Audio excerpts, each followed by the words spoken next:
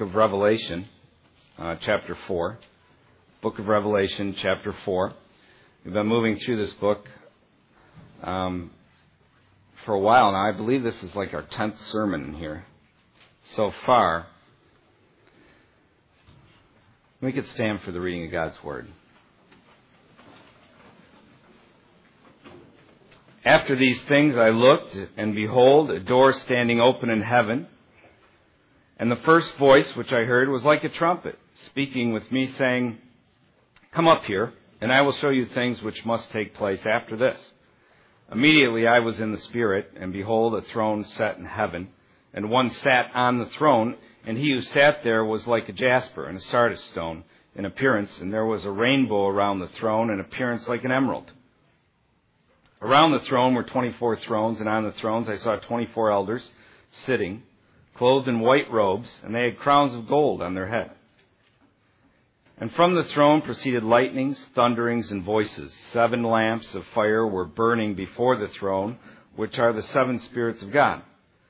Before the throne there was a sea of glass, like crystal, and in the midst of the throne and around the throne were four living creatures full of eyes in front and in back. The first living creature was like a lion, the second living creature like a calf, the third living creature had a face like a man, and the fourth living creature was like a flying eagle. The four living creatures, each having six wings, were full of eyes around and within, and they do not rest day or night, saying, Holy, holy, holy, Lord God Almighty, who was and is and is to come.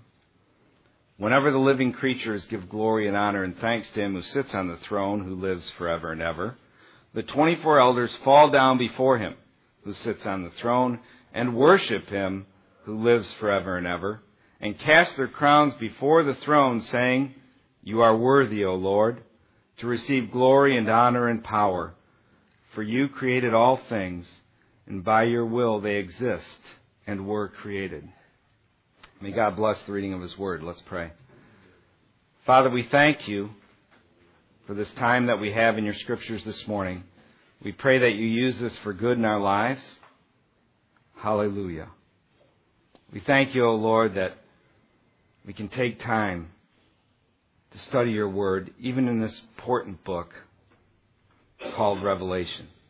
And God, I just ask and pray that you would help me to set forth that which you've given me to declare this day and glorify yourself through it. And we ask these things in Jesus' name. Amen. Could be seated. In verse 1, the scripture says, After these things I looked, and behold, a door standing open in heaven. And the first voice which I heard was like a trumpet speaking with me, saying, Come up here, and I will show you things which must take place after this. Believe it or not, this is a major key verse for the pre-tribulation rapture theory. In fact, it is this verse that the entire theory is built upon. It is this verse the entire theory is built upon. The popular eschatological view in American Christianity, the tri- pre-tribulation rapture theory, says that the rapture takes place here in verse 1. The rapture takes place here in verse 1. Do you see it? No? You don't, do you? That's because, like so many of the verses the futurists use to try and prove their pre-tribulation rapture theory, when you look at the passages or verse and exegete them, they have nothing to do with what they are saying it has to do with. They are committing what we call eisegesis. They are reading something into the text that is not there. Now, why do they say that this is where the rapture took place? Well, let me give you three of their reasons. They are their reasons why they say the rapture took place here. The first is because they say it speaks here of a trumpet. Of a trumpet. And they say 1 Thessalonians 4:16, keep your finger here in Revelation and let's turn there and look at it. 1 Thessalonians chapter 4 verse 16 talks about how there will be a trumpet when Christ returns. It says in 1 Thessalonians 4:16, "For the Lord himself will descend from heaven with a shout, with the voice of an archangel, and with the trumpet of God. and the dead in Christ will rise first. So, since there's going to be this trumpet there when Christ returns, that means that since this verse here in chapter 4 verse 1 speaks of a trumpet, that the rapture has taken place. There's some problems with that view, however. One is a trumpet is commonly associated in scripture with the Lord communicating to his people. The trumpet is commonly used in association in Scripture with God communicating to His people, especially in times of judgment, as is the case here in the book of Revelation. So just because, just because verse 1 here of chapter 4 mentions the trumpet, doesn't mean the rapture has taken place. You have to impose that upon the text. Not only that, but it doesn't say that it was a trumpet, like it says in 1 Thessalonians 4:16. Doesn't say it was a trumpet, it says it was as a trumpet or like a trumpet. Okay? The Greek here is os salpagos. It means as a trumpet or like a trumpet. All right? Now, if you look at Revelation chapter 1 verse 10, you may recall we have the same thing being said there, where John says, here in Revelation 1.10, I was in the Spirit on the Lord's day, and I heard behind me a loud voice as of a trumpet. As of a trumpet. Again, os salapagos. Same Greek words, same Greek syntax. Just because it's trumpets mentioned there, why don't we then say that this is where the rapture took place? Or perhaps we have a double rapture. One took place in 110 because we have the trumpet mentioned there, and now the rapture, another one's taking place in chapter 4, verse 1, because the trumpet's mentioned there. Again, it's clear that it's not a trumpet, it's a voice like a trumpet. Both places. So you have to want to impose upon the text this idea that a rapture has taken place by the mere fact that the word trumpet is mentioned. Do you know how insane that is? When it comes to exegetical work, it's beyond the pale. Now that isn't the only thing they bring up in order to try and convince you that chapter 4 verse 1 is talking about the rapture.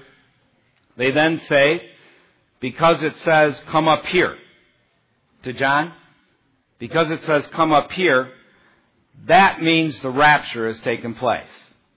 Come up here means the rapture has taken place. The problem with that view, imposing the rapture upon the mere words, come up here, the problem is the text is clear that John alone was being addressed with the intention of him seeing a vision of future events. You have to want to believe it is talking about the rapture to get that out of the text. It is not the clear teaching of the text. They impose their idea upon the text. And those who want to believe it, or want to have someone else do all their thinking for them, believe what is clearly not there. The emperor has no clothes. It's not there. It's made up. They're bringing it upon the text. And the third thing they say, why this is talking about the rapture, is they say because starting in verse 1 of chapter 4, all the way until Revelation 22 verse 16, the church, that term, the church, is never used again. Meaning the church has been removed from the scene. The rapture has taken place. That's why the word church isn't used from this point on until Revelation chapter 22 verse 16. Just because the term church isn't used, you get to say that's because it's been raptured? Do you know how insane that is? How inane that is? How ridiculous that is when it comes to exegetical work? We could make up all kinds of things and impose things in by virtue of what isn't there if that's how we want to do our exegetical work. Are you starting to get the picture why I threw off dispensational pre-tribulation rapturism over 20 years ago? This is the type of nonsense you have to embrace to get it to work.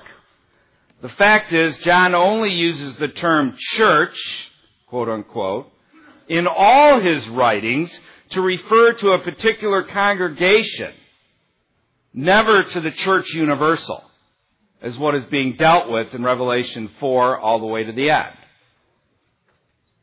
He only uses the term church in all his writings to refer to a particular congregation, as was just done in the last two chapters of Revelation where we have the seven letters to the seven churches. My point is simple. The rapture is not seen in verse 1 unless you want to put it there. Unless you want to impose that upon the text. If you allow the text to just speak clearly as it is speaking, it is not there. It is not in verse 1. As you clearly saw when you approached it and just looked at it for what it had to say. No, it wasn't there.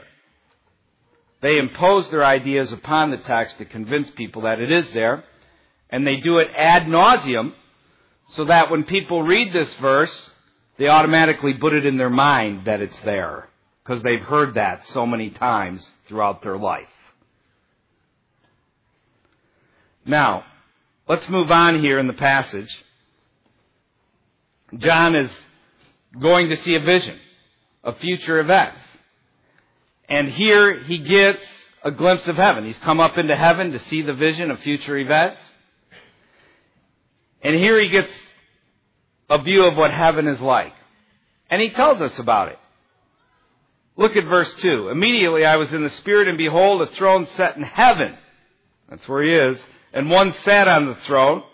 And he who sat there was like a jasper and a sardius stone in appearance and there was a rainbow around the throne in appearance like an emerald.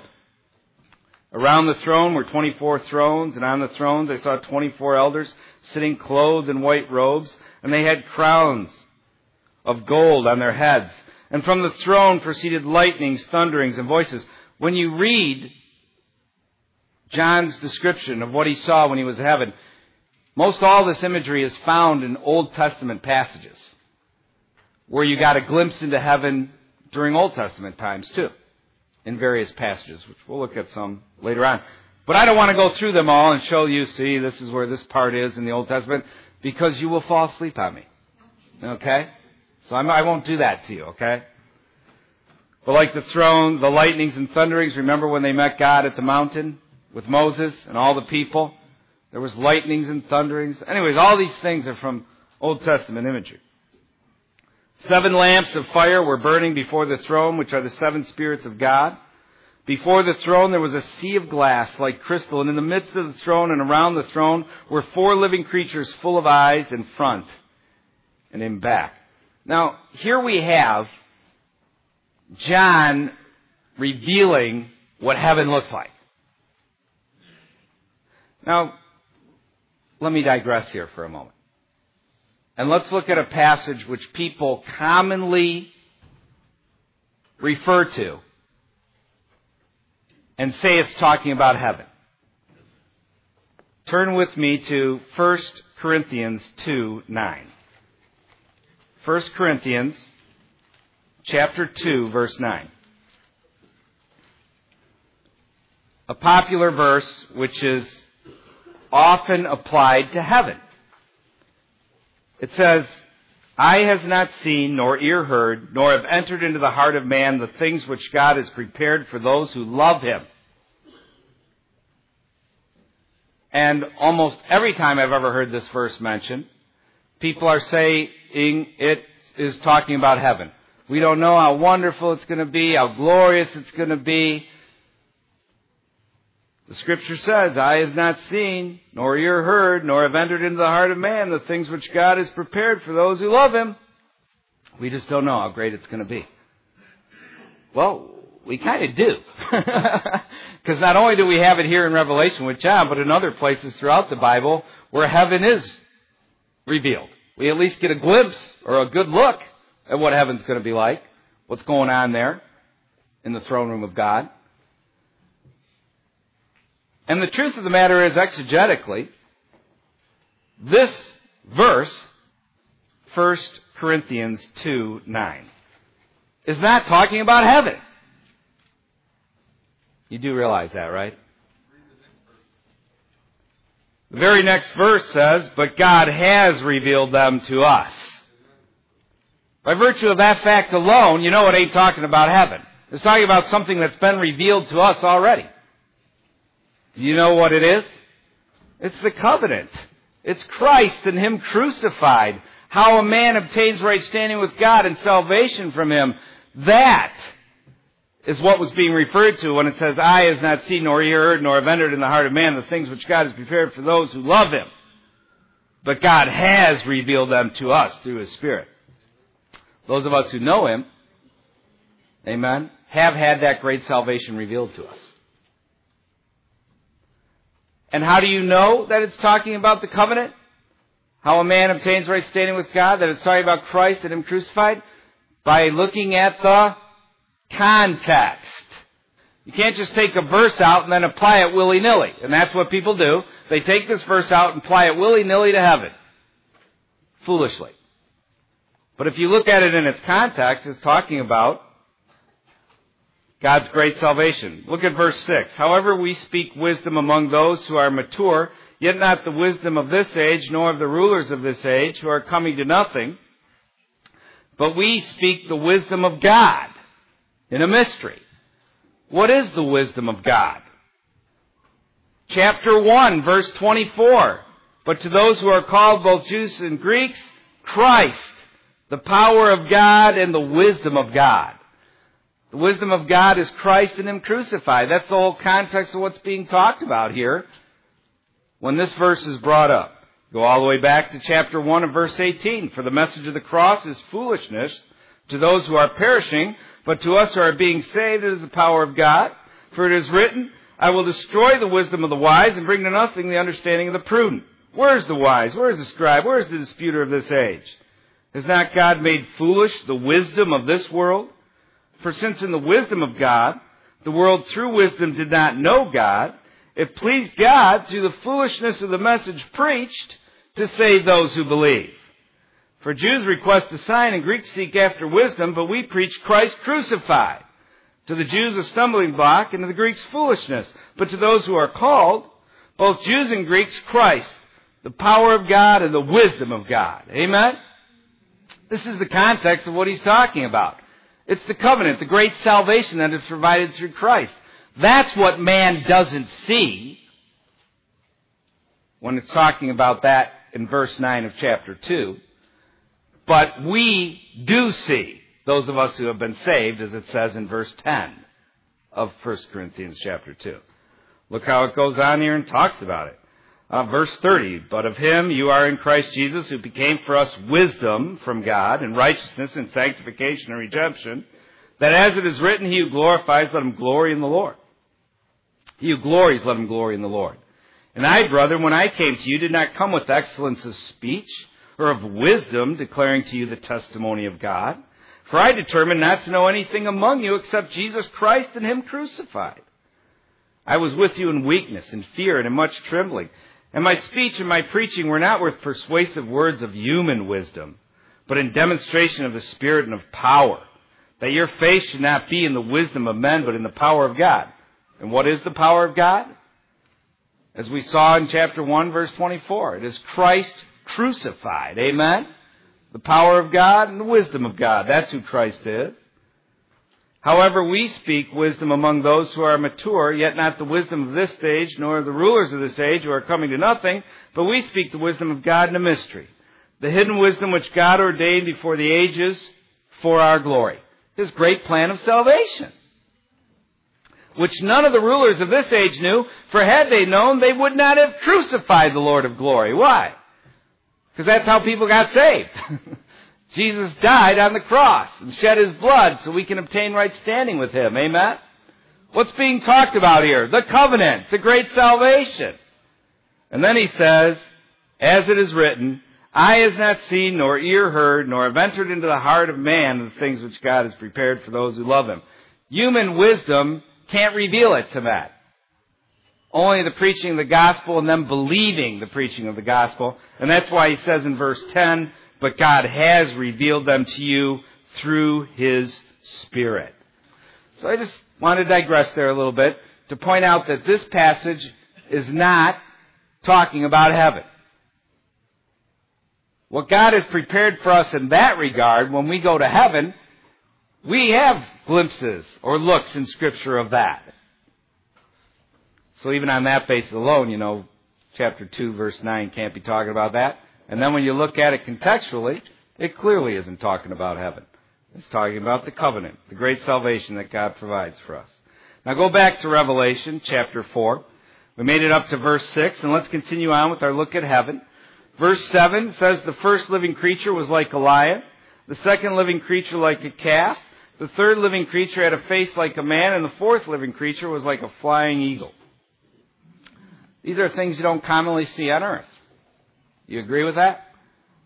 Kind of interesting.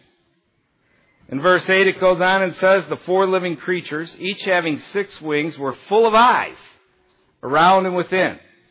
And they do not rest day or night, saying, Holy, holy, holy, Lord God Almighty, who was and is and is to come. Holiness. One of the greatest attributes of the Lord is holiness.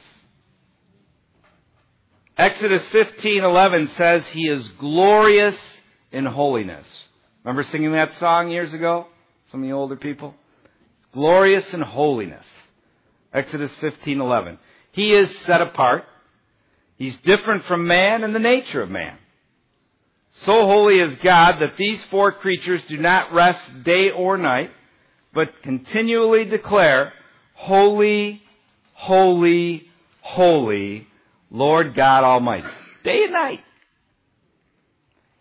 And as His people, He also desires holiness in our lives. Hebrews 12:10 says that He chastens us, quote, that we may be partakers of His holiness. That we may be partakers of His holiness. 1 Peter 2 9 says we are, quote, a holy nation, a peculiar people, unquote. 2 Corinthians 7 1 says we are to be, quote, perfecting holiness in the fear of God. Perfecting holiness in the fear of God. One of God's greatest attributes is His holiness, and we as His people are to demonstrate that holiness in the earth by how we conduct our lives.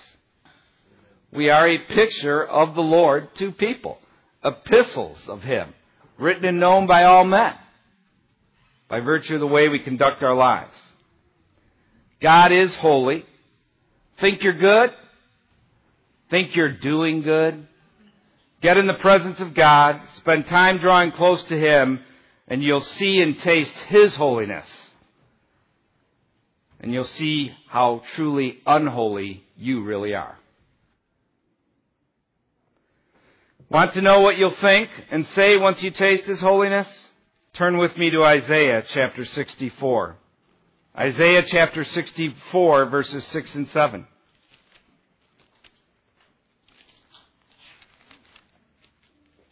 Isaiah chapter 64 verses 6 and 7. If you want to know what you'll think and say once you taste His holiness, you won't arrogantly be thinking you're better than most other Christians. Want to know what you'll think and say? Here's what it says. But we are all like an unclean thing. Isaiah 64 verse 6. But we are all like an unclean thing, and our righteousness are like filthy rags. We all fade as a as a leaf, and our iniquities like the wind have taken us away. And there is no one who calls on your name, who stirs himself up to take hold of you. For you have hidden your face from us and have consumed us because of our iniquities. This is what you're left thinking about yourself when you get into the presence of a holy God. And that's what the context is talking about, His presence. Look at verse 1. Oh, that you would rend the heavens, that you would come down that the mountains might shake at your presence. As fire burns brushwood, as fire causes water to boil, to make your name known to your adversaries, that the nations may tremble at your presence. You get in the presence of a holy God, the end result is a true rendering of your state. Turn with me to Isaiah chapter 6. Look what Isaiah says of himself when he found himself in the very presence of God, in the very throne room of God, in heaven itself. In the year that King Uzziah died, chapter 6, verse 1, I saw the Lord sitting on a throne, high and lifted up, and the train of his robe filled the temple. Above it stood seraphim. Each one had six wings. With two he covered his face, and with two he covered his feet, and with two he flew. Right? Six wings. It's like these other beings we just read about in Revelation. And one cried to another and said, Holy, holy, holy is the Lord of hosts. The whole earth is full of his glory. And the posts of the door were shaken by the voice of him who cried out, and the house was filled with smoke. So I said, Woe is me, for I am undone. This is the end result. This is what you're left saying of yourself when you get in the presence of a holy God. Holiness is one of his greatest attributes, and he desires us to be holy in our lives.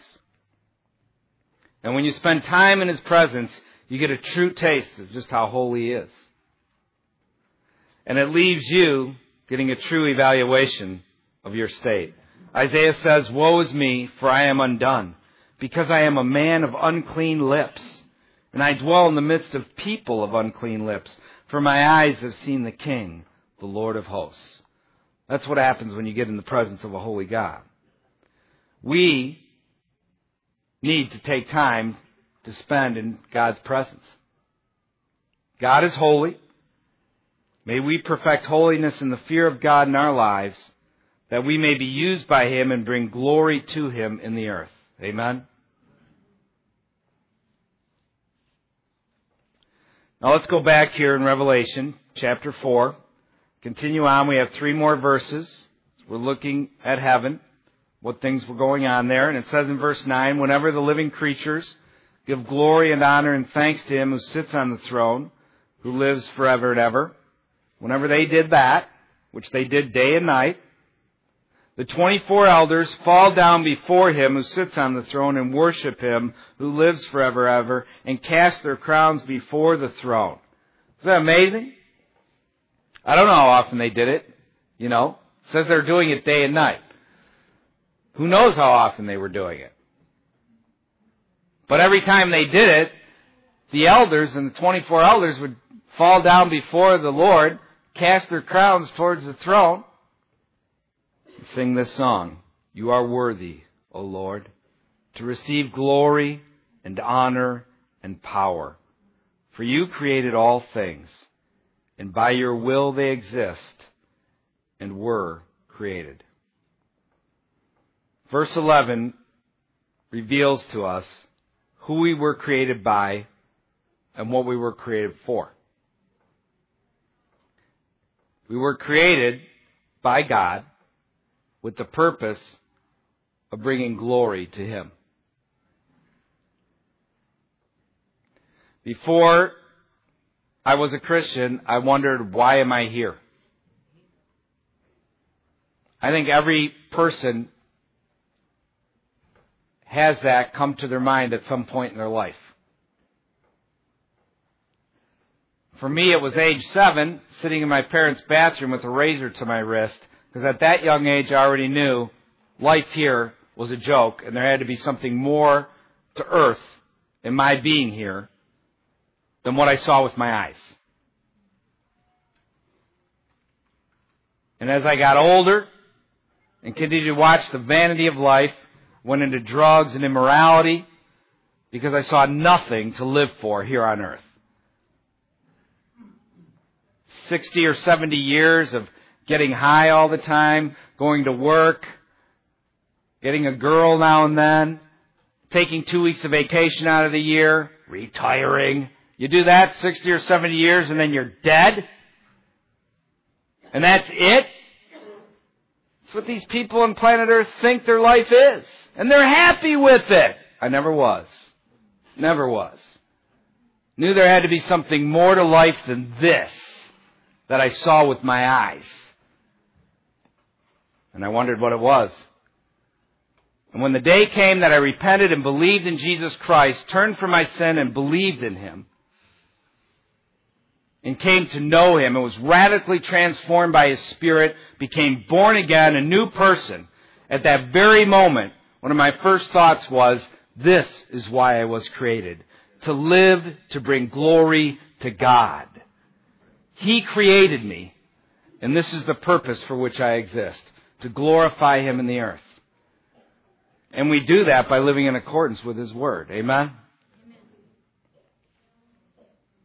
The way we glorify God through our lives is by living in obedience to His Word, by living in conformity to His revealed will in Scripture. This verse reveals to us that the creation exists. Listen to me now. Verse 11 reveals to us that the creation exists not because God needed to create, or because he is dependent upon his creation in any way, but simply because it was his will to create. It pleased him to do so. Amen? Extremely important for us to understand. The idea that God needed to create or is somehow dependent upon his creation is a thought played upon by arrogant man rebellious man who wants a controllable God, one which he can belittle and use for his own ends. They sit around at the university campuses pondering such things ad nauseum. And Hollywood runs around proffering such things through films ad nauseum. A plethora of verses make it clear he did not need to create or is somehow dependent upon his creation. Let's look at just two verses because we could go on for a long time. Two verses. Turn with me to Isaiah chapter 40, verse 17. Isaiah chapter 40, verse 17.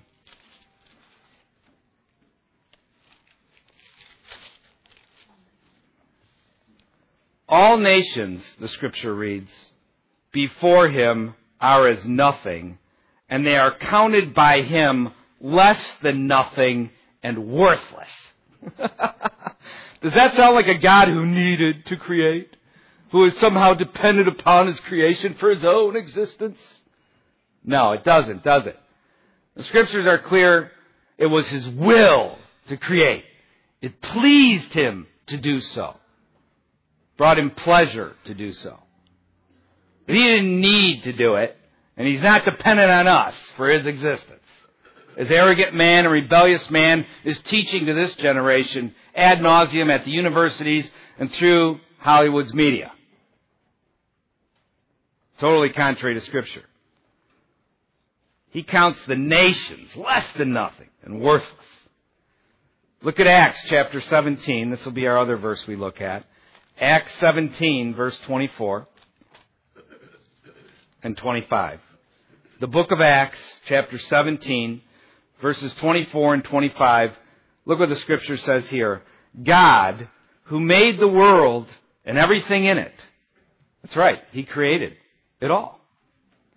God, who made the world and everything in it, since He is Lord of heaven and earth, does not dwell in temples made with hands, nor is he worshipped with men's hands as though he needed anything. Since he gives to all life, breath, and all things. God didn't need to create. He is not dependent upon his creation for his own existence, as arrogant man teaches today. The truth of the matter is, it was his will to create. And he was pleased to do it.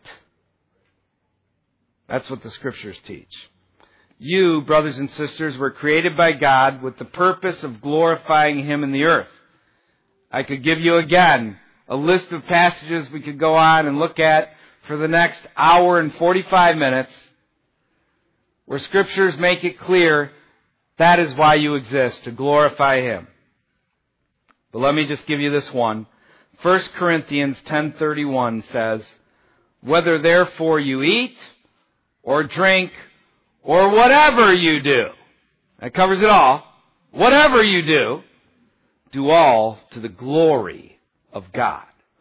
May His name be praised through our lives. Let's stand up and we'll close in prayer.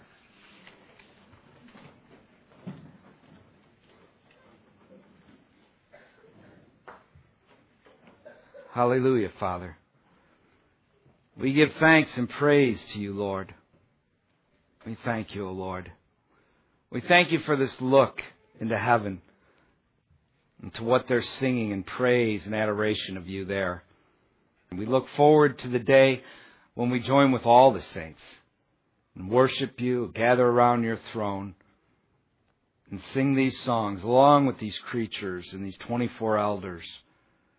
O Lord, be glorified, we pray, through our lives. Praise your holy name. May we put off the sin which so easily encumbers us, O God. And may we perfect holiness in the fear of you. Blessed be your holy name. We were created, O God, to bring glory to you and may we live according to that purpose all the days of our lives in every area of our life, O God.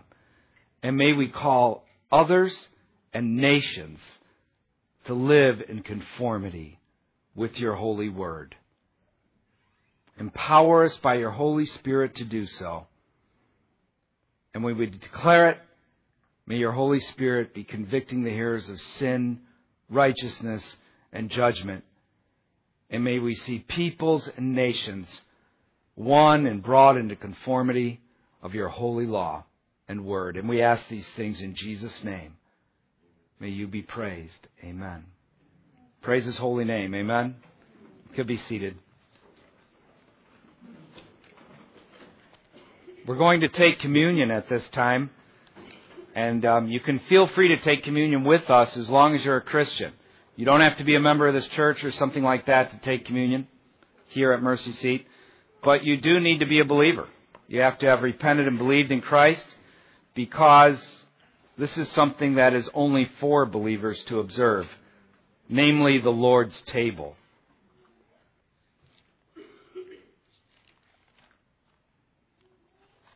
Here at Mercy Seat, we observe the Lord's table every week that we gather. And we do this for a number of reasons. One reason is because it's the tradition of the church to do so. It was the pattern laid out by the early church to observe the Lord's table every week that they gathered. And so we follow in that blueprint, that pattern laid out by the early church, and we too observe his table every week that we gather. And probably the most paramount reason that we observe his table every week is because we need to be reminded of how we obtain right standing with God, that it's always only through faith in Christ. And that's what his table reminds us of. Because there's only two elements at his table. The bread which represents his body and the fruit of the vine which represents his shed blood. And nothing else. Those are the only two elements at his table. And we as men need that. See, man wants to think he obtains right standing with God somehow through his own self-effort. Western man often thinks it's through his good works. Do enough good works and they outweigh my bad good, my bad works and boing, I'm good with God. I'm going to glory. And of course, the standard of goodness just keeps getting lower and lower. In fact, if you go on the campuses these days, the only one going to hell is Adolf Hitler. Everybody else is going to make it in. That's what man thinks. If I'm good enough, God will accept me. It's a lie. We can never be good enough to be accepted of God. That's why Jesus died on the cross. Because we've all sinned. And He took our place. He bore our sins. So that if we will believe in Him, turn from our sin and believe in Him, we can obtain forgiveness of our sin and have right standing with God. You'll actually taste His holiness, His love, His presence.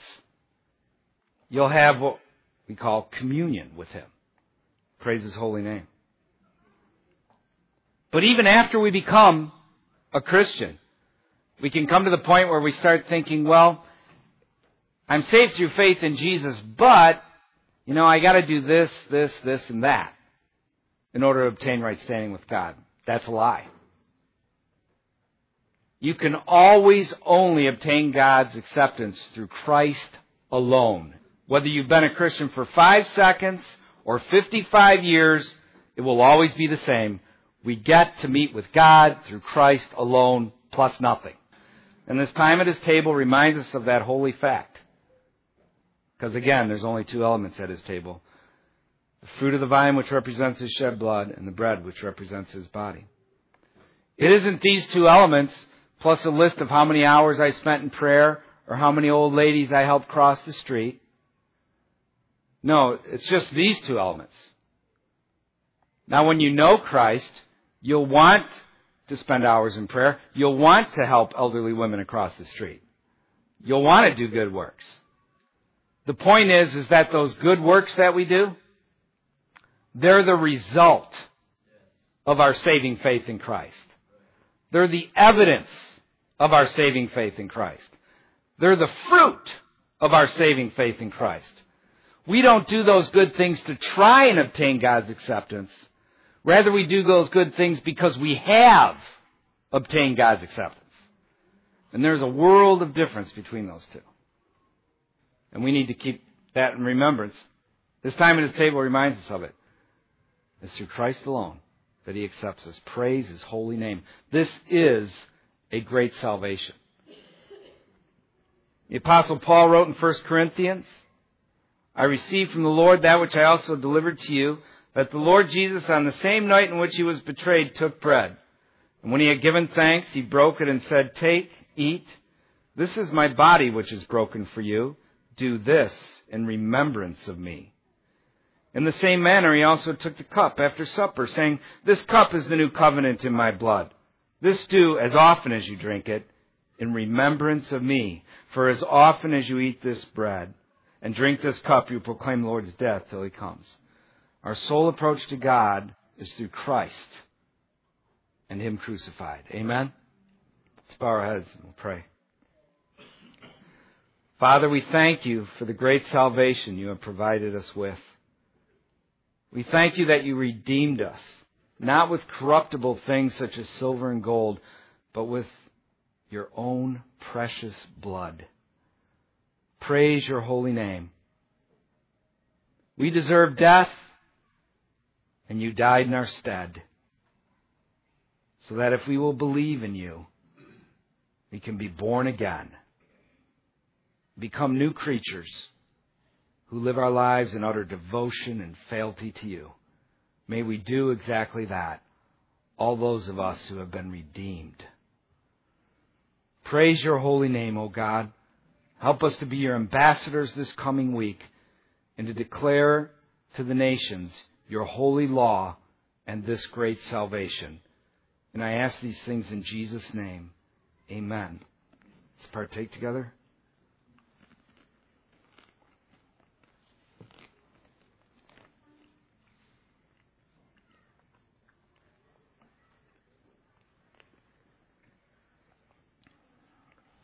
Hallelujah.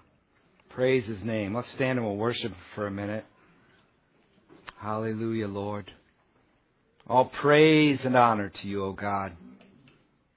Worthy is your holy name. Praise your name, Lord. Father, I ask and pray that this week we live our lives as a holy nation, as a peculiar people, people of your possession ones who talk about you. ones who talk about you. Lord, while the world is talking about utter nonsense, vanity, and stupidity, may we open our mouths this week and talk about something of substance. May we declare to others you. May we preach your truth to others this coming week. Embolden us by your Holy Spirit to open our mouths and to speak, to not be fearful, concerned about reputation, prideful, but to be your ambassadors. In Jesus' name we ask, Father. Amen. Praise his holy name.